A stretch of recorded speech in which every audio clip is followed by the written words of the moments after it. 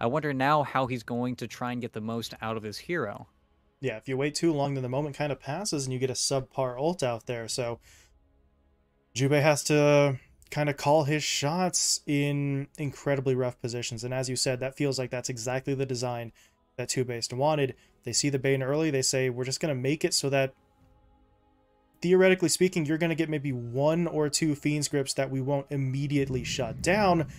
And that's the only opportunities he'll have to really be that game changer. Black and Yellow, though, still leaning into the team fight a little bit with that Faceless Void pick, which does get a little bit more dangerous considering the Silencer's already in the field, and it's another ability for the Rubik to steal against a Faceless Void himself. Obviously, things get a little bit weird, but if Widge could take something like the Chronosphere, then deploy it on the rest of Black and Yellow to lock them down, you are really risky with this lineup. I can't really figure out any other way to describe it.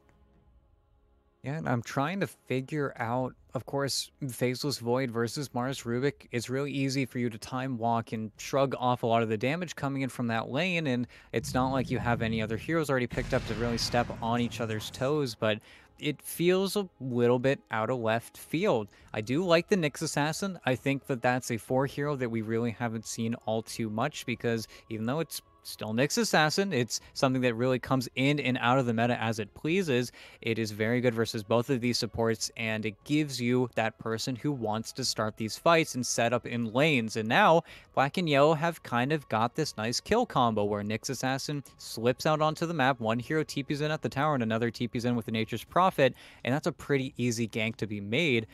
But I feel like they need a hero like a Storm Spirit, a Void Spirit. They need someone to actually provide the damage now because their control is honestly looking pretty good, but they need someone who's actually able to put that damage into the Chronosphere as well. They need one of those all-arounder type of heroes, and Naga Siren is a very, very annoying hero that they're going to have to deal with, and again, one of Boris's best. Hmm. A hero he's comfortable with, and a hero that can once again break up so much of what Black and Yellow are going to want to put together. If you try to jump in, if you're looking for that chrono, if you want the Prophet to TP in, you have to be mindful of the Naga Siren's position, because Song of the Siren can just sort of waste so much of your time, and then two base get to decide, do we regroup and fight? Do we just want to back away and avoid this altogether? You are going to have those options in a way that Black and Yellow pre-BKB just won't really be able to ignore. Yeah, and really, with Black and Yellow's pick order, I was expecting them to loop back for, like, the hero that just got banned out, the Leshrac, something like that. If I saw Lesh Jug on their pick order there, I would have been really happy with what they were obtaining, just because I think, again, this is a team that needs agency. It needs someone who's constantly able to make plays. Of course, maybe you pick up something for Sammy Boy that has a little bit more versatility. That was an insta-lock on the Legion Commander, though. Yeah.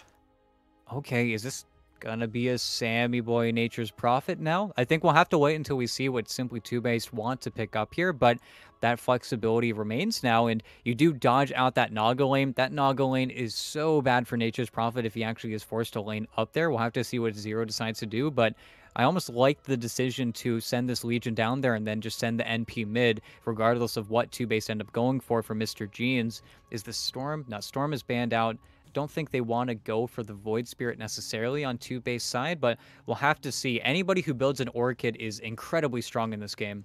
Mm-hmm. Yeah, so the Void is still going to be an option there for them.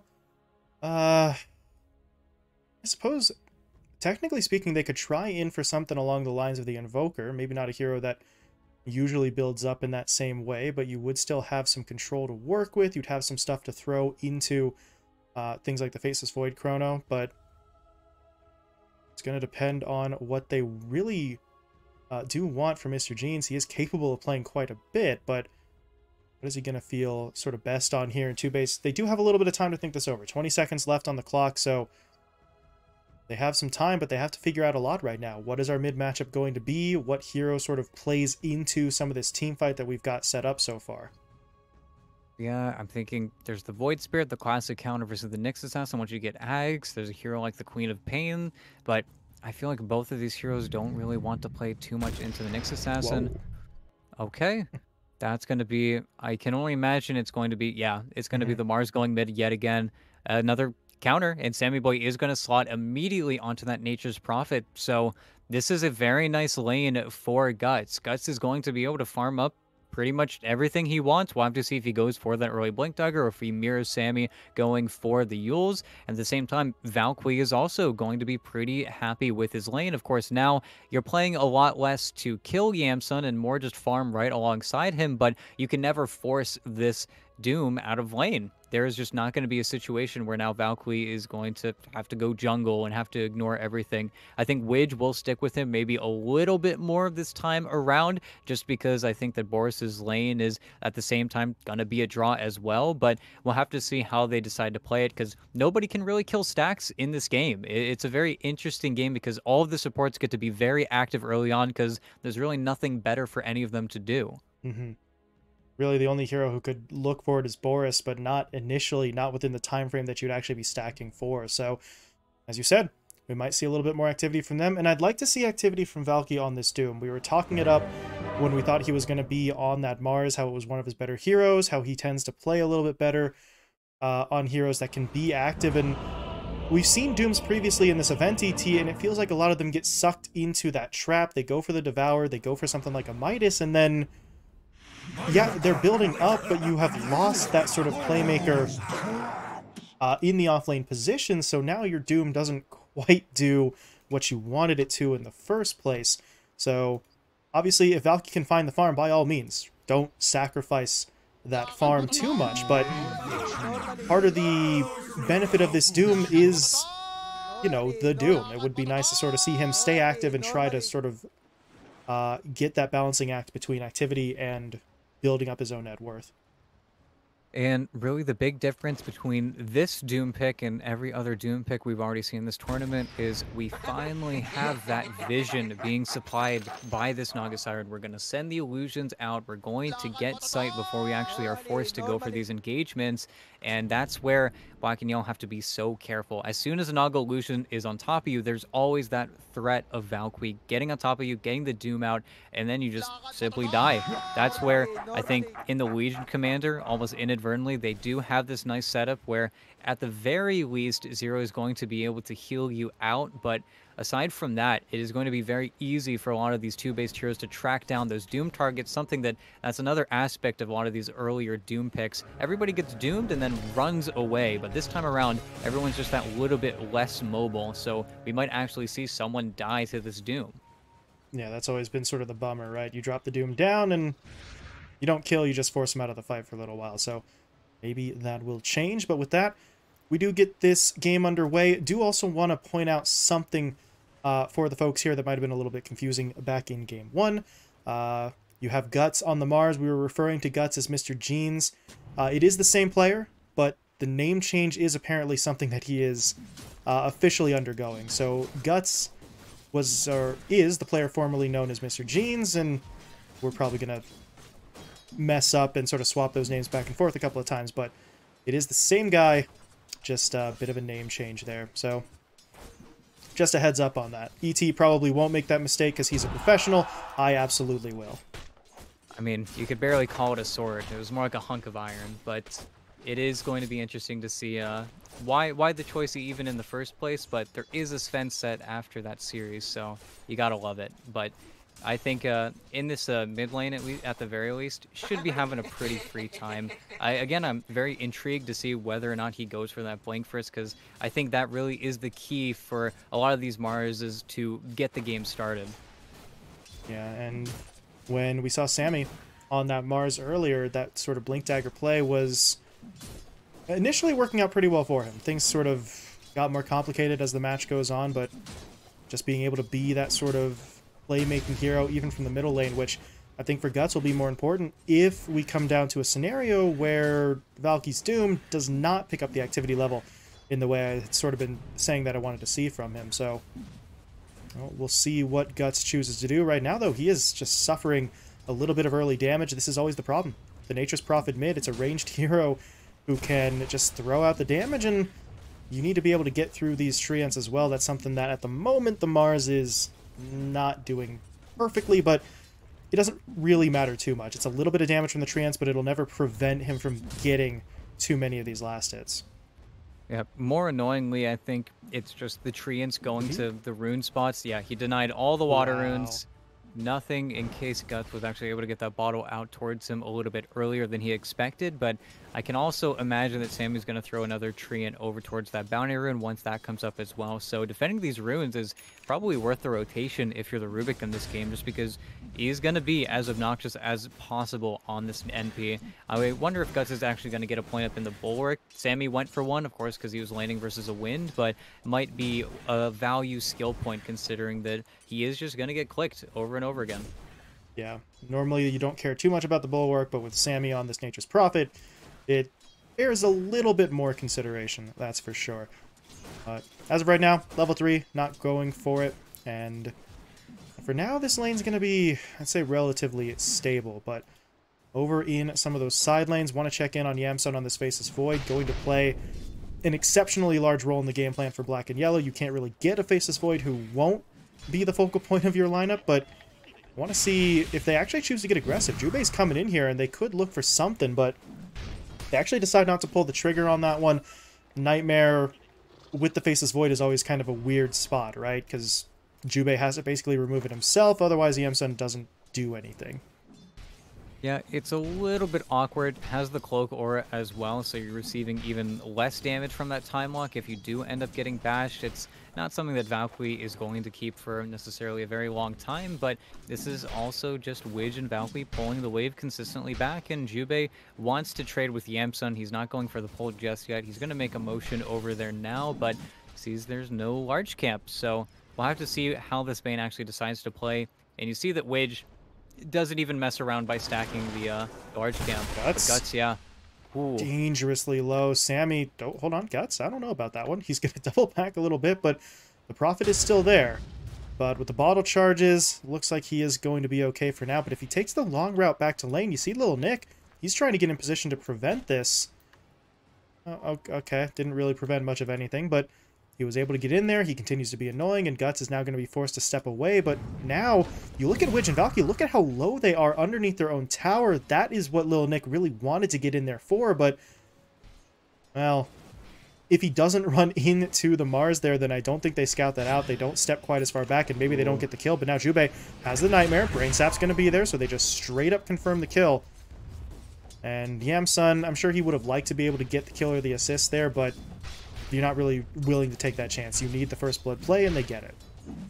Yeah, and it's just a little bit more regen, just straight up being bought by the black and yellow side. I think both Valkyrie and Ridge, Widge were pretty satisfied when it came to their trades earlier on, but then uh, everything kind of goes disastrous for them as the wave just continuously gets pushed forward and they end up taking a lot of damage from those creeps. I think Valkyrie, yeah, he rotated over just to get another creep on the Devour cooldown, but at the same time, Jubei is also pulling the lane back, so it feels like they're getting everything they want out of this bottom lane, while Yamsun actually can, because as soon as Valkyrie hits level 6, that's where the Faceless Void does get heavily pressured. They're not going to be able to really operate in this lane for long if the threat of the Doom is there, so trying to make the most of this window is Sammy... Well, he throws out the Wrath of Nature that really isn't going to do all that much at this point in the game, but it does help him maybe clear out the creep wave a little bit faster if he can go for the TP home, gets his boots, comes right back in, and really no significant time lost there. That's always the benefit of this Nature's Prophet, having that sort of back and forth play, but now they're going to look for Guts. Little Nick needs to connect with the Impale. He is going to be able to do so. Can they get the Sprout down as well? No, because well, they don't see him anymore.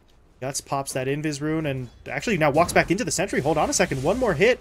The Faerie Fire, very well timed. That's, that would have been a bit of an embarrassing one if he dies to that casual Sentry being thrown down, but he's able to fall back. The problem is, now he needs these bottle charges. Falling back, getting the bounty, healing himself up. That is going to keep him in the lane, but it buys Sammy a little bit of time. Time that doesn't really get to use all that much because the glyph prevents him from really hitting that tier 1.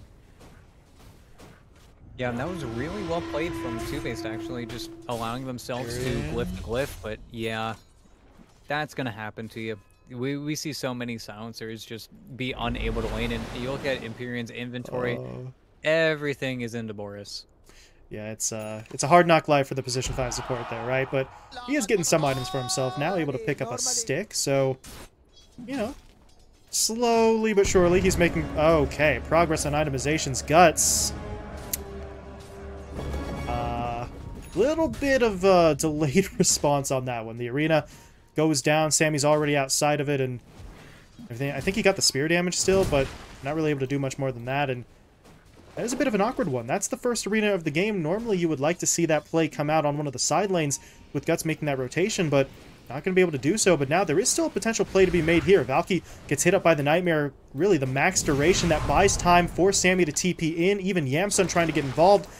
And yeah, Valky, he's trying his best, but there's nowhere for him to go. He gets that path blocked off by the Sprout, and Black and Yellow bring him down. Third straight kill. Yeah, and it's this up-tempo style that Black and Yellow really need to consistently find these plays. Of course, you want to sync up those moments with the carts. It's unfortunate that Sammy wasn't able to tank with the Nature's Call just a little bit more, and then maybe this mid tower would take a little bit more damage, but it's those opportunities that this Nature's Prophet starts to feel like a little bit of an imbalanced hero, but those are going to be few and far between, and especially with this Arcane Rune bottled up by Guts, as soon as that arena is up, you can only imagine he's going to look for an Arcane Rune play, but poor Empyrean. Just getting bullied. The creeps, though, helping him out a little bit, but not going to be enough to matter. Zero.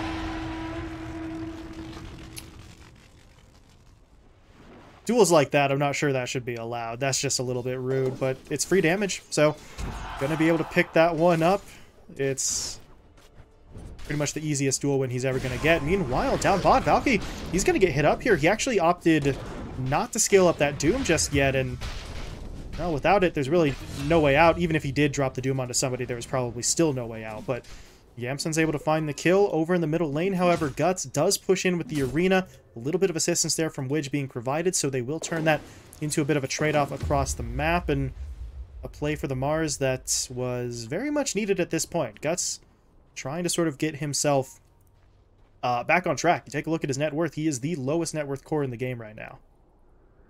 Yeah, he's just been forced to watch a lot of these creeps get denied. If you look at the last hits, he still is very behind in that regard. A lot of his CS is just straight up coming from those treants, but you're going to have this arena again in 14 seconds. As we spoke about earlier, it was an Arcane Rune arena, so can only imagine that he's going to possibly make an attempt towards that bottom lane. I think finding a kill on the Jubei would be really nice to kind of propel him forward, but that's also where, when Valkyrie died before, it's just not having that support behind him in the mid lane.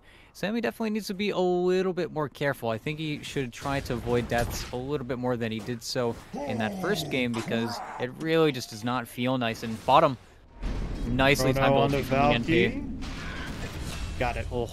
Nicely done. They get that in, and as you said, yeah, Sammy did have to sort of throw the Wrath of Nature in there, but that was damage that they desperately needed. If they don't get that kill and Valky gets the chance to turn, things get very complicated, but as it stands, they find the nice kill. Guts was able to make it a bit of an exchange mid, taking down Little Nick, so that arena comes into play once again, and kills like that, good on a personal level for Guts. I'm not really sure that's going to shift much of the momentum, but the Mars needs to, again, keep this going. You see that Blink Dagger now being queued up, so the faster the Mars can pick that up, the more aggressive Guts can be here, and aggression, to this point in the game, kind of feels like the overall theme, right? Eight kills in about 11 minutes, so neither side really wants to back off. Both of them want to be the one dictating the pace of the game.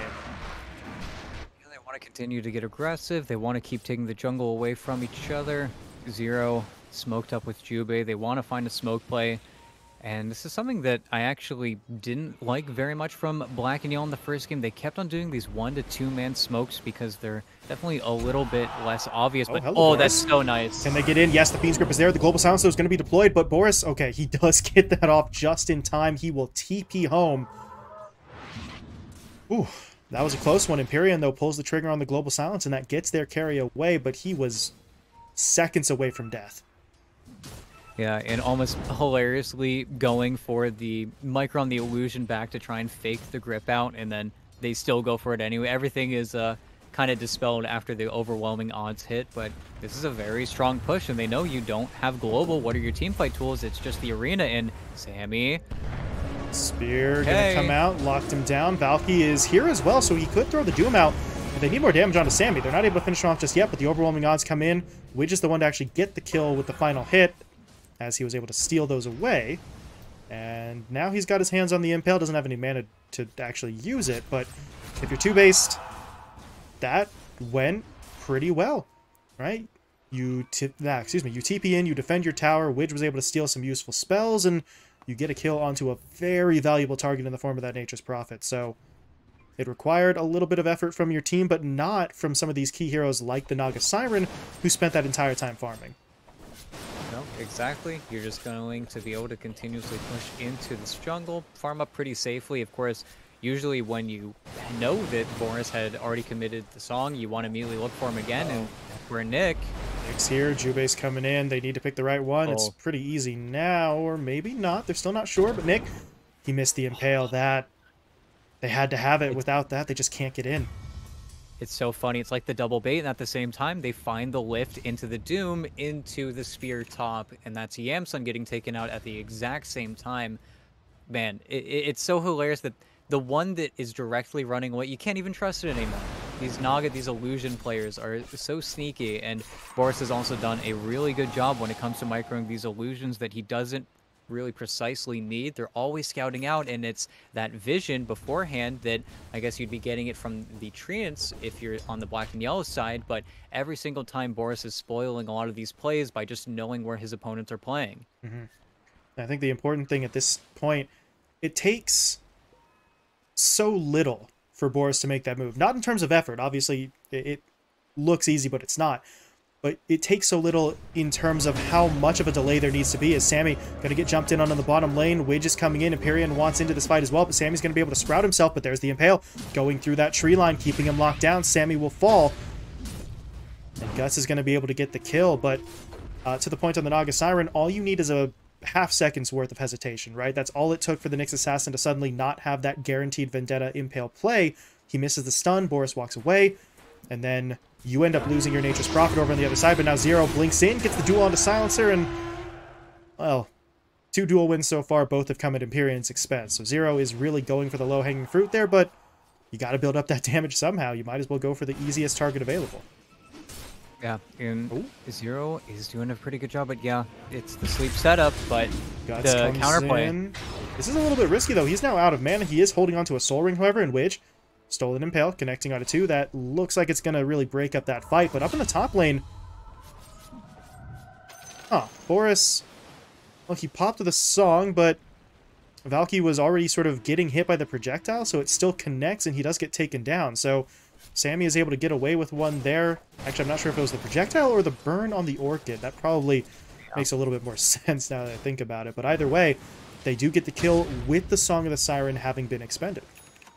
Yeah, and now again, it's not that play; it's the play that comes after. If you can catch the Naga Siren in this a minute and 20 second period where she's incredibly vulnerable, again on the Empyrean. This is bullying, is what it is. Zero just constantly going after Empyrean, but ET, you use that exact phrase in the draft. They would have to bully the absolute hell out of the silencer, and it's coming maybe a little bit later than we were sort of talking about initially, but it's still there. If they can just keep Empyrean constantly on the back foot, constantly respawning, you don't have those openings, or you have fewer openings rather, to go for that sort of big global silence play. Well, and when it comes to heroes like the Silencer, the word in that same vein is threat. If you can create threat levels where suddenly you force out that global silence a few seconds before, then suddenly Jubei is now the strongest hero on the map, and you don't have that guaranteed trade every single time that grip does get committed. And okay, guts, that was a little bit risky. Uh, I don't think he realized Little Nick was there. Now it's too late. The duel comes in. The global's a little bit too late to counter it out. Is this a duel that they actually win, though? Yes, it is. Yamsun's able to get the damage. He finds the kill. Zero gets the duel win, and... Oh, boy. Guts just a little bit too much there. We, we see this so often with those Marses. You do look for these plays because you need to be that playmaker, but you need a little bit more information. They did not have the vision there, and Unfortunately, it is going to cost them their Mars, and now without the Mars, the rest of the lineup kind of has to just sit back and wait things out for a bit. Yeah, and this is their timing. They Oh. have the knowledge that there is no global silence. Jubei has a guaranteed grip here, and on Boris would be awesome. Oh, Boris, what kind of play can he make here? He's got his own illusions plus the Manta to try and dodge this out, but the Fiend's Grip just comes in. He didn't really make any sort of move at all, and now the duel, it's up. They've got the lockdown. Feel like you got to try something at that point. As Guts goes in for the arena, into the Spear Stun, locking down Jubei. Valky's in here as well. Widge is going to throw out the Fade Bolt, but it's just not enough damage, and now they got to fall back, but the Nightmare is going to prevent Valky from getting away. Yamsun tried for that Chrono. Widge was able to shut it down, so they will simply go back in, take the kill that they know that they had at their disposal as Valky will fall, and Black and Yellow starting to get very aggressive here, but this aggression really is paying off. 12 to 5 in terms of the kill count, a 6k lead in Empyrean. Can he outrun Sammy? I'm not 100% sure. Empyrean. If he can outrun Sammy, I don't think he can outrun little Nick with the Vendetta pushing forward. He is trying. Where's Zero? Normally, every time Empyrean dies, Zero's nearby for the duel. He's not around this time, though, but this is turning into a little bit more of a fight because Guts wants to get in there hoping to defend his teammate. Not going to be able to do so, but he does get a return kill, and now they're in onto Sammy. The telekinesis pulls him back into the fight. The impale that was actually stolen away again is going to be there, and I- I'm getting so confused at this point. Widge seems like he has the impale. Obviously, he doesn't have it now as he just switched up, but he has the impale in so many fights that I'm not entirely sure he's even stealing it from the Nyx. It just seems like he has it as part of his kit here, and it does help sort of turn that fight around. Empyrean's the only one to fall. Yeah, and those are the trades that you're going to take if you're Empyrean. Of course, now that he has the global, we have that same trade where once you have grip in 25 seconds, it's not really going to matter, but it's deaths like those where the Nature's Prophet overextends a little bit too much pre-BKB that definitely start to slow you up and trip you up a little bit. Unfortunately, at the same time, Two-Base still really haven't found a good way to get Valkyrie into this game yet. He's still looking for one of those good items that he could possibly go for, and I really like this from Black and Yellow. All the heroes are so good at killing Rosh. It looks like it's someone to pop the Linken's. Yeah, there's the Orchid, and is just going to be a lot more leeway that I think Yamsun is going to be able to play with. I think he's probably going to be the one to take it. Of course, that's a pretty good target to Doom in these fights, but now it's not going to result in a kill, so are you actually going to go for it? But top, uh, Sammy just... Okay. That was very greedy. I mean, he TP's out in the middle of the Rosh attempt. That part, in and of itself, maybe isn't so bad, but the location he goes to, they don't have the vision. They'll lose him immediately, but now Valky going to get hit up by the Doom. Or, excuse me, not the Doom, the Duel. As Zero is going to be able to win that one out, and they do turn that into a trade, but it feels like in that instance, if you're two-base, you like that a little bit more. You can see the team fight recap, they get more gold, but they finally get Valky involved. He's able to throw the Doom down onto a target that they can just cleanly kill. And uh, that's what you need, because the Doom does seem to be falling into that trap we mentioned before. He's even got the Midas, so net worth is great. It's starting to pick up a little bit for that Doom, but you do need him to continue looking for opportunities to actually play aggressively, because right now, 0, 6, and 2 stat line is not going to do it for him. Yeah, and it's a little bit strange from Sammy because, of course, he traveled a little bit further ahead than the Nyx Assassin, who should be the one scouting out for you whenever you want to make those plays. Just feels like he's going ahead of his support in a lot of these situations, which ends up in his death more often than not. But you are Nature's Prophet, you know that they don't have Doom, and it looks like you get a little bit of chip now on this Tier 3 tower, something that Two-Base haven't really set themselves up to deal with. Oh, Zero. He did you get really it anyway. That's Yes, so. that is much more doable than I thought it was. He doesn't even have backup there. Even with the global on top, he still just wins that duel straight up. And uh, well, Valky, he's not nearly as tanky as I thought that he would be in that scenario. They bring him down. There is a buyback on the Doom, but now Guts, he wants in. There's going to be the arena into the Spear Stun. Sammy temporarily saved by the Nightmare, but he will still fall. Now Yamsun, what the heck? Throws down the Chronosphere, but it was still in the arena, so he was getting knocked back for a moment or two, but once that arena wears off, Yamsun's in, Guts gets taken down, the Fiend's Grip's onto Widge, so no steal coming out there from the Rubik, as they will lose him. And now Valky buys back, but at this point, it feels like this might be late. Boris is getting the wraparound play, however, but they need the Song of the Siren to really lock these heroes down. They're not willing to commit it. Valky dies a second time, and it's all seemingly falling apart here for the two-base side. Boris is thinking about going back in, but onto Yamsun. That's still going to be an Aegis, and now the duel. The decision is made for them. The Naga's going to get locked down, taken out. Boris is dead. No buyback available, and this should not have turned into this kind of just base-breaking play, really, but TOOBASED... It's horrible. If they wanted to go in, they should have gone in. If they didn't want to fight, they needed to back off entirely. Instead, they picked this very weird middle ground where you don't get any kills and you still lose too much. And of course, you do buyback on the Nature's Prophet, but at this point, I don't think Sammy really cares. Sammy is just going in time and time again, tanking for his teammates. I think really Zero's game is just way too good at this point. He can really solo kill just about anyone at the same time. We're still waiting for Valkyrie to do anything. I think he's really struggling and falling behind for his team right now. And you do have an Orchid on the noggin now, but at the same time, no one was set up to defend the base there. If you had a lift on Zero when he went for the dive into the tower, it wasn't even the best chrono. A lot of those kills happened after the fact.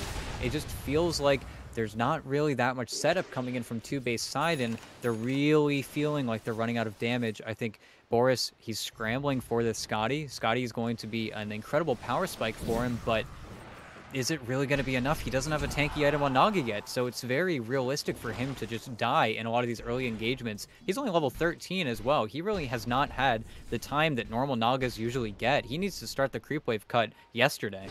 And now all three of the black and yellow cores, they just bought their BKBs actually within like two or three seconds of each other. So any play that you are looking to make, you now have to make through the magic immunity on every single opposing core. It just makes that initiation so much more difficult, right? The Song of the Sirens less effective. That's ooh, that play with the global silence doesn't matter. Yeah, they're a little confused, but I think now they're starting to realize this may actually be the real Boris.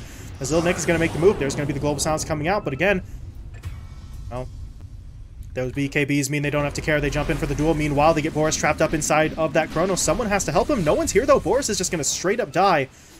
I'm not really sure how much more they can do here. Yamsun picks up the double as he'll take down Empyrean. Meanwhile, Valky did drop the Doom there on to that Legion Commander, but that's not going to be enough for the kill. And now Guts has been hit by that Fiend's Grip. They're just going to lock him down. The Bash is even coming through, so the BKB is not as great at defending him. He's forced to use the arena defensively, but Sammy, he still wants in. He's going to TP his way forward. He didn't see the initial target, so now he's just going to go on the secondary one as he, I think, accidentally TP'd onto that uh, onto the Doom, but doesn't really matter. The kill is the kill. They find it. And now all of a sudden, you're looking at the Mars really the lone defender at the particular moment in time. Empyrean will respawn, but he does so without the global. And their buyback status is very poor at the worst possible opportunity, really. They need these heroes back in. Boris is going to respawn, so they have the Song of the Siren, but if they lose any of these heroes, they're not coming back. Now There's smoke up as well, just trying to look for anyone or anything, but I think unfortunately this is just going to be a free rack. So look for the fight here. Okay, okay. got the ping. Jubei down. Yamsun forced to actually not pop the BKB. That was the shard upgrade from Zero, giving him that temporary magic immunity. So they hold the BKB. They finish off the bottom lane of Rax. Boris doesn't want to let them go, though. There's going to be the song. They've caught out two, actually three. Do they see Yamsun in the tree line, though? I'm not sure they do.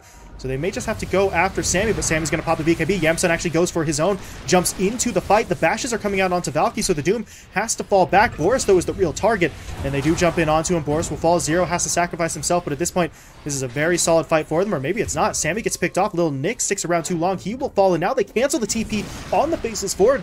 Uh, Void. Yamsun there's no chrono here either, so he just has to kind of try and stand his ground. That's going to make things complicated. Guts in with the arena into the spear stun, picks up the kill. And if you're black and yellow, um, you get the racks. That's what they wanted in the first place, but that's a lot of kills to give up on the back end. Definitely. And now, what is your choice? Do you decide to wait it out? Do you decide to go for just the next engagement? I think with Roshi spawning in a minute and 20 seconds, we could see Black and Yellow reset there, but that's also where they do have Chrono in 8 seconds. They could definitely just immediately start running at their opponents, and then I don't really know what you do on the TOOBASED side. They need a few more items. They really need Boris to get any of this gold. It's unfortunate all those kills happen with the Naga solely being dead. Empyrean is, is back in action. Oh, man. Zero on the back line, quickly picking off Valky. And, well... Nice Nightmare, too. Oh, oh they got the Fiend's Grip. Global, though, very nicely placed. It's going to cancel that one out, and that should allow their lineup to fall back. Zero's still trying to chase, though. Link is coming back up. But on the back line, Guts jumped in. He'll take down Lil Nick, pops his BKB. Fiend's Grip actually was stolen by Witch, so they have the lockdown onto the LC. Can they take down both of these kills, though? The damage is being a little bit split. They'll go for the easier kill, but that sets up Yamsun in for the Chronosphere, connecting onto four. Wrath of Nature flies through as well, and it's all going to go to hell for TOOBASED. They get completely annihilated. Yamsun picks up the Ultra. And yeah, that's the GG. There was really one move you could not afford to make. Do not get caught in the chrono And Yamsun just slams the door shut. Man, this Doom Hero really looks bad. like, it, it, just continues to struggle time and time again. I think it was set up better than really a lot of the other Doom so far in the tournament, but holy hell, this hero is just not getting off to a good start and is just falling prey to everything. This wasn't even a game where Valkyrie was sacked. I think in the Tide, you give him a little bit more of a break because he did have a little bit more of a slow start, but the same time, it just feels like he never found his Doom target. He never found the hero that he wanted to find. It was always, I think, Nick getting on top of him. And I think Nick is the one that really played the best on black and yellow side. He was getting in a lot of those backlines. Him and Zero, to be honest, just always finding their own initiations for a lot of those jumps entirely blind as well. I think both of them just did an incredible job of executing the strategy of really just global just running around from space to space to space, setting up kills. Of course, you love whenever Zero can set up kills for himself, but I think Sammy and Lil Nick syncing up with each other so many times beautifully just felt like they could create this incredible threat across the map that TOOBASED didn't really have any options to deal with. We saw time and time again Empyrean being forced to pop that global not on the grip or using it to only cancel the grip, and then immediately we have that secondary and third initiation coming in from Black and Yellow, and TOOBASED don't have the tools if they're the ones getting initiated on. They were the team that really needed to start a lot of these fights, and unfortunately, they just didn't have enough. Yeah, and I mean, you do have to give some credit to Guts. You take a look at the stat line there 11 and 3 on that mid Mars. He plays it really uh, about as well as you could have expected, but he was the only one capable of really doing anything. And to, to harp on that Doom just that little bit more, because at this point it kind of feels like we need to. Not Valky himself, he did really the best that he could, but this Doom hero so often when this hero fails, you take a look at the build, right? He's got the phase boots, he got the Midas. Between the Midas and the Devour, you're going to generate a lot of gold, but to what to what end? For what purpose are you building this gold? Because so far, when the Doom has failed, the answer to that question has been absolutely zero purpose whatsoever. You don't get the Blink Dagger, you're not initiating. By the time you do start throwing out Dooms, it's onto heroes that you can't even kill. So I don't know. If the hero's going to continue to get picked up, ET, something has to change in terms of the playstyle because this just isn't working. I want to say roll it back. He was the Doom. he was the guy, you know. Mm-hmm. He was the one who was, you know, 2,000 net worth ahead of Bryle and Tomato, and you wouldn't really bat an eye. But so many Dooms, as soon as they start to fall behind, and of course, Valkyrie was 0 3 out of the lane, there was just too many good rotations coming in from Sammy it just feels like it's so hard to crawl back. Where if you're ahead, this hero feels great with all of these items and you actually have the space to play with it. But unfortunately, we keep on seeing Dooms that just fall behind their opponents and then they run out of gas. Because on paper, why can y'all have the best saves. They really are going to have to play incredibly defensively if you're the one starting these engagements. But aside from the arena, it just felt like they had so few opportunities to actually get their team fight going. Yeah, so few opportunities. And their theoretical teamfight power either gets forced out early or in a lot of instances just used too broken up from each other. So in theory, this lineup had some strength to it, but TOOBASED just kind of get really outplayed and outmaneuvered. So black and yellow able to get themselves a win, just like the previous series. They drop the first game, they win the second.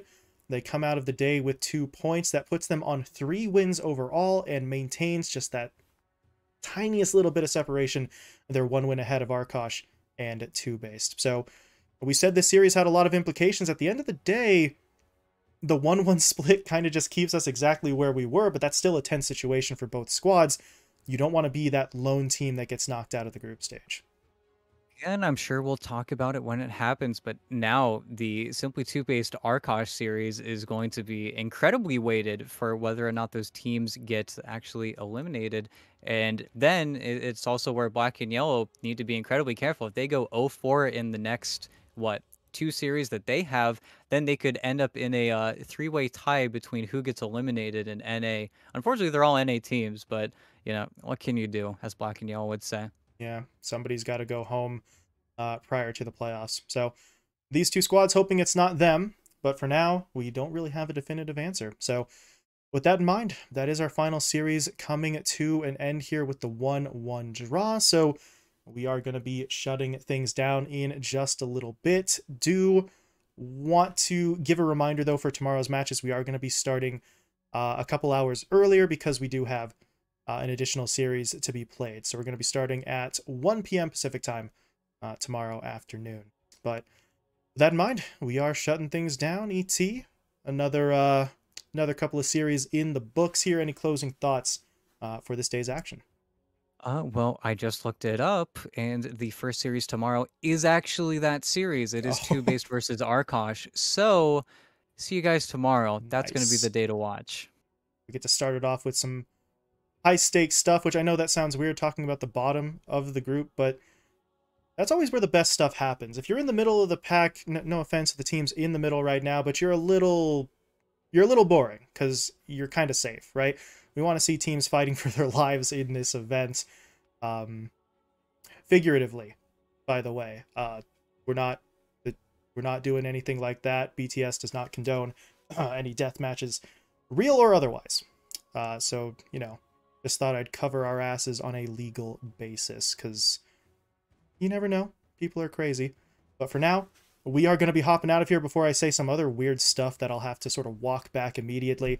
So thank you all so much for watching. We will see you again tomorrow, a little bit earlier, 1 p.m. Pacific time. Until then, uh, enjoy the rest of your evening and good night.